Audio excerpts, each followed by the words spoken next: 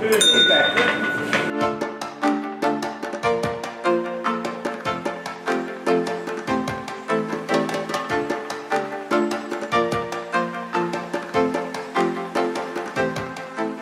Wat gaat hier precies gebeuren? Eh, we zijn bezig met een bouwkringloop. Dus dat zijn eh, spullen die mensen over hebben uit de bouw. En eh tweedehands spullen die een nieuw leven krijgen. Hoe ben je op het idee gekomen?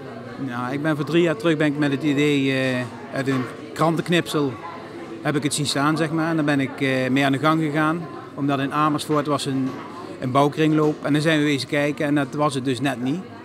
Dat was bij een, gewone kringloop. En eh, nee, dat was net eh, niet wat wij wouden. En dan ben ik voor een jaar terug ben ik weer met het idee verder gegaan. En, eh, nou, en dit is het geworden. Heeft het veel tijd gekost om dit voor elkaar te krijgen? Ja, eh, op papier heeft het meer tijd gekost als wat er nu staat. Want dit heb ik in drie maanden heb ik een kantine gebouwd en een bouw en eh, werkplaats en alles ingericht. Dus dat viel op zich wel mee. Alleen de regeltjes met de gemeente en alles, dat moet dan wel allemaal. Ik doe eh, alles zoveel mogelijk zelf om eh, weer van niks iets te maken. Dat vind ik het leukst. En Waar kunnen mensen naartoe als ze de bouwkringloop willen bezichtigen? Naar Overberg 15 in Milsbeek, in een streetterrein. Dat is Overberg 15, unit A en D. Zijn er ook openingstijden? Ja, ik ben dinsdag, woensdag, eh, vrijdag en zaterdag open van 9 tot 5. En maandag en eh, donderdag ben ik gesloten. Wij eh, gaan vandaag de opening verrichten van de bouwkringloopwinkel De Loods.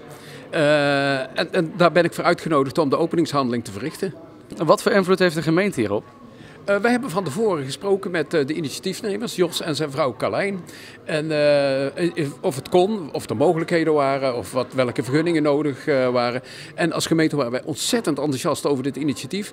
Want nou ja, in het kader van duurzaamheid en wat tegenwoordig heet cradle to cradle, hè, zoveel mogelijk hergebruiken van materialen, vonden wij dit een uitstekend idee. Dus wij hebben alle medewerking verleend om dit mogelijk te maken. Het idee van Jos ja, is natuurlijk geweldig. Dat je eh, materialen die vroeger zo eh, verbrand werden of de stort op gingen, dat die nu weer gebruikt worden, een tweede, derde, misschien wel vierde leven krijgen. En eh, dat is goed voor de maatschappij en voor de hele wereld. Dus wij vinden het een geweldig goed idee.